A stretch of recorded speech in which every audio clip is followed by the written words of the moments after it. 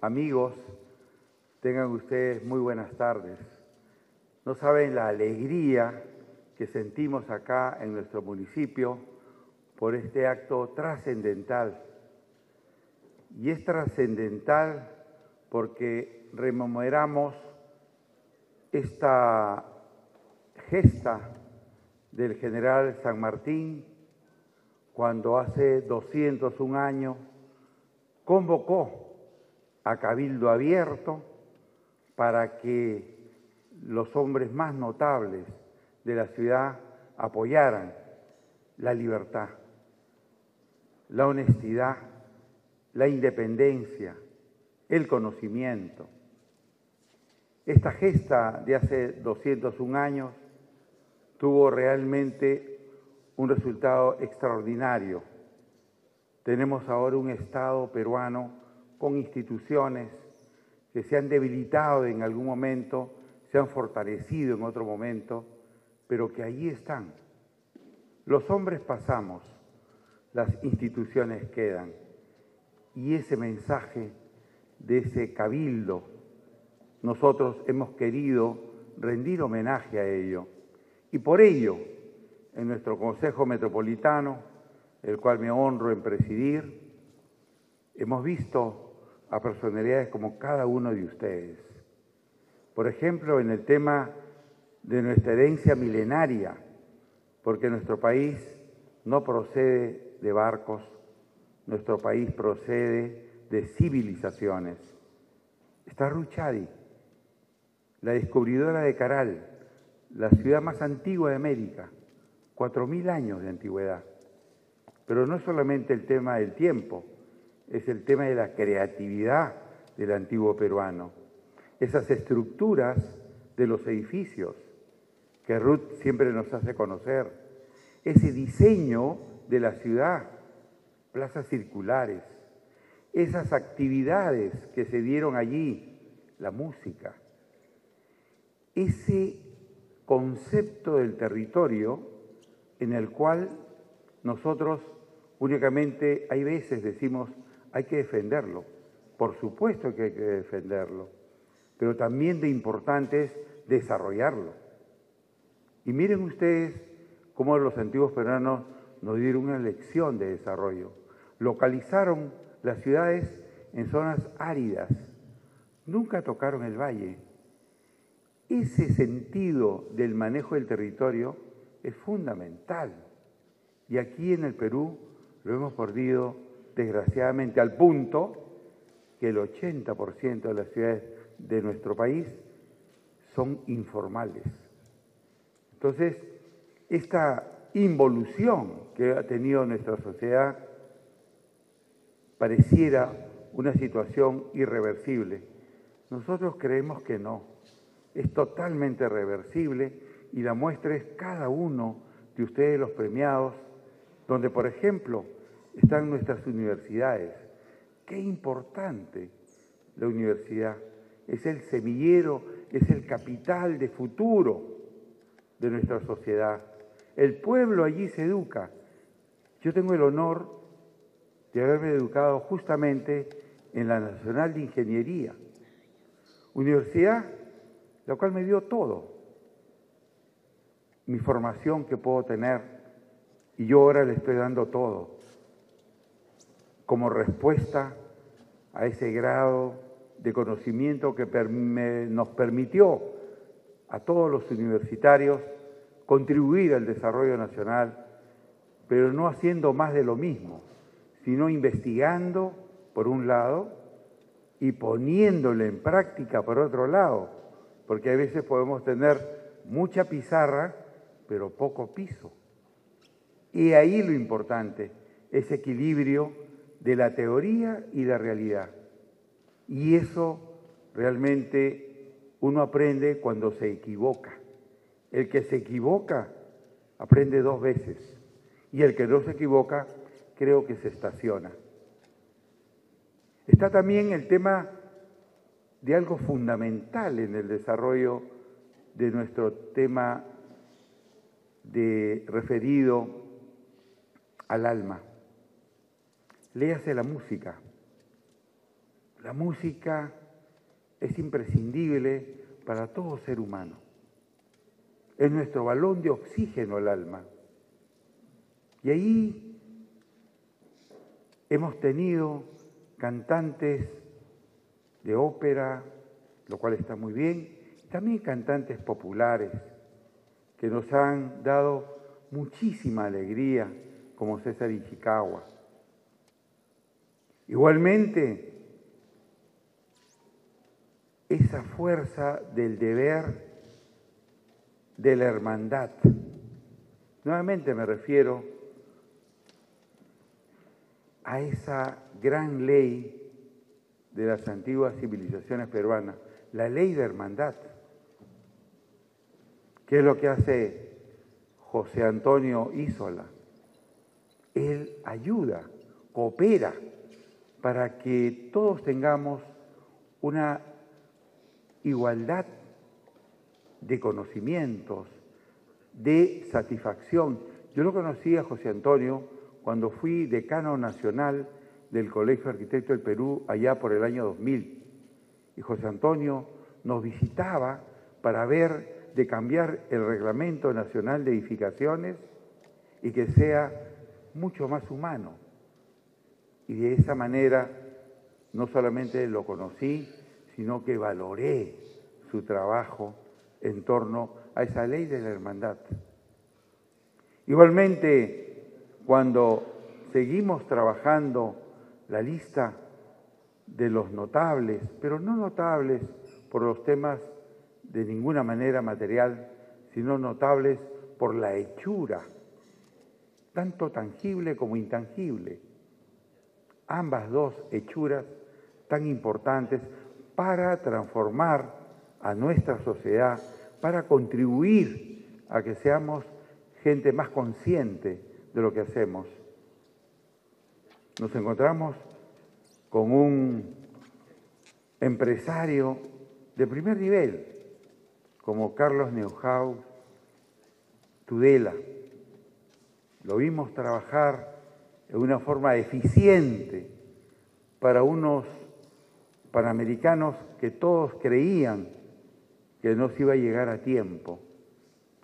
Él aplicó su generosidad para el país y a pesar, digamos, de él estar en el sector privado, contribuyó con el sector público y nos dio la oportunidad que nuestro país tenga pues la oportunidad de tener unos panamericanos extraordinarios y que esa infraestructura ahora sea utilizada también por la aprobación.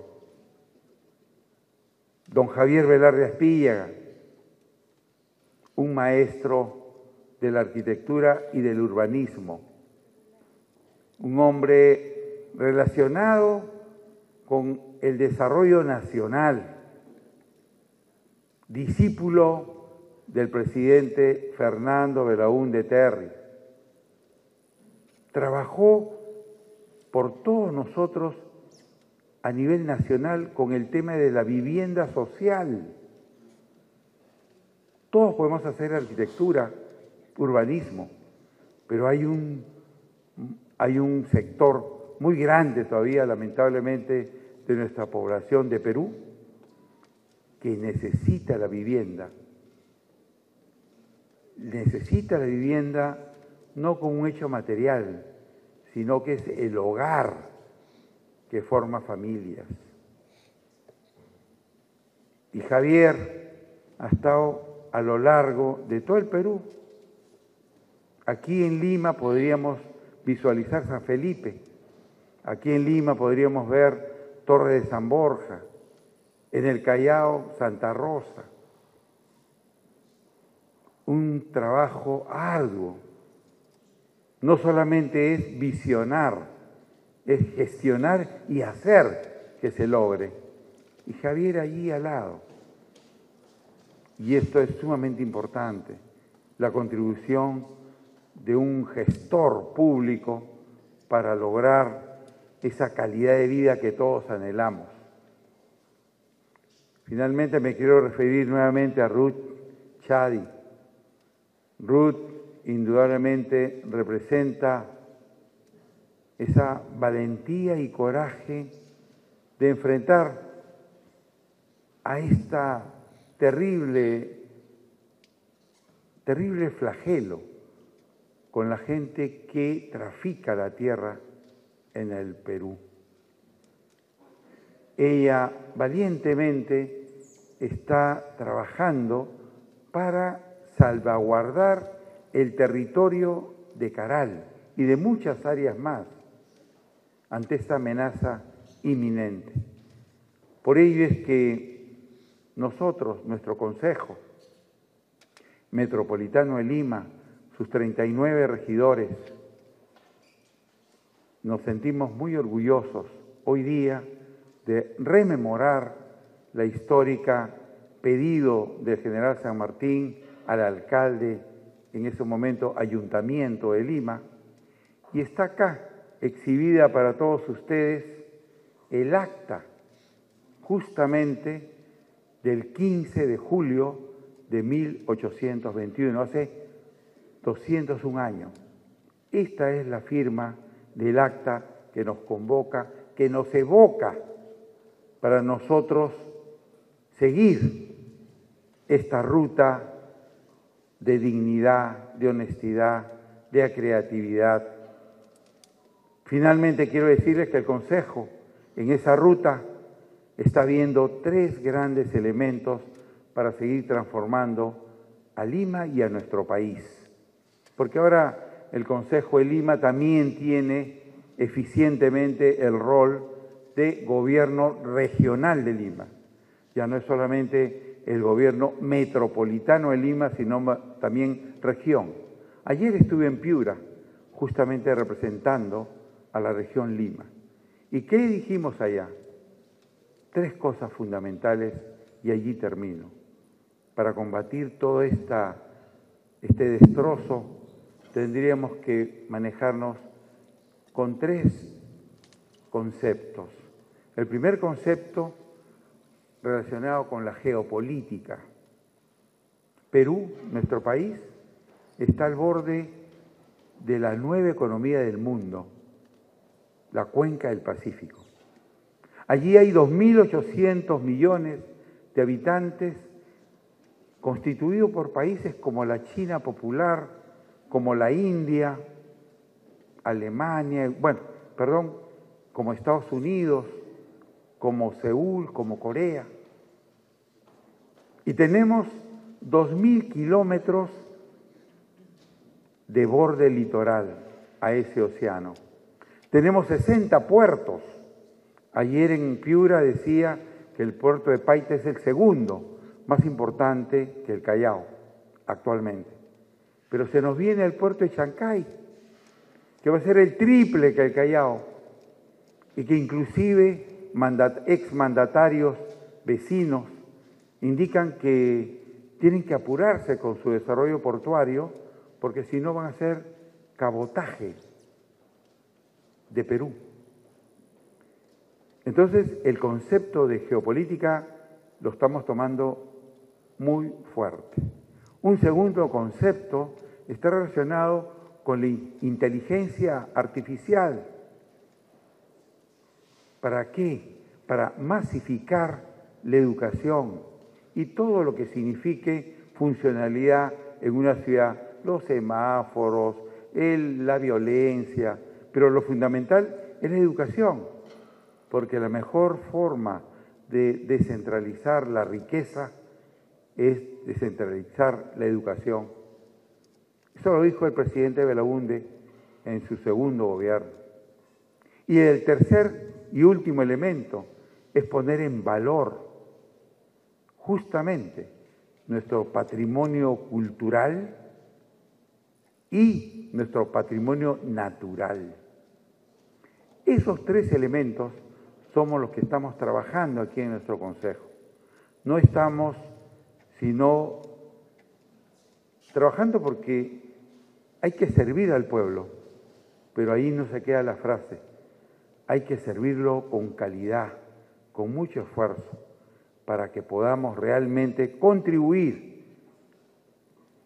de ser una ciudades informales a unas ciudades formales, de unas ciudades insostenibles a ciudades sostenibles, de ciudades inhumanas en ciudades humanas. Muchas gracias, queridos amigos que acá están en este recinto del municipio, y ustedes son nuestro ejemplo, porque vendrán otros alcaldes más, lo cual es extraordinario, y seguiremos premiando, porque acá no basta solamente castigar, sino premiar. Y eso es lo que nos ha animado a nuestro Consejo Metropolitano de premiar este reconocimiento a la labor que cada uno está haciendo por mantener un país, como siempre, unitario y hermanado.